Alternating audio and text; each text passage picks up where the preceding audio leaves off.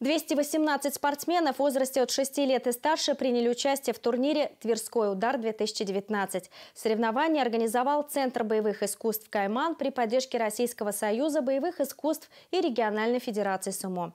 Их руководители Дмитрий Иванов и Андрей Гатько присутствовали в качестве приглашенных гостей. В этом году местом проведения стала средняя школа номер 38 областного центра. В ходе поединков было разыграно 57 комплектов наград. Каждая схватка проходила под шумные овации зрителей. Родители и друзья юных спортсменов бурно реагировали на амплитудные броски и красивые удары. В результате абсолютным чемпионом среди юношей стал Михаил Колесников, а у девушек Алина Попова.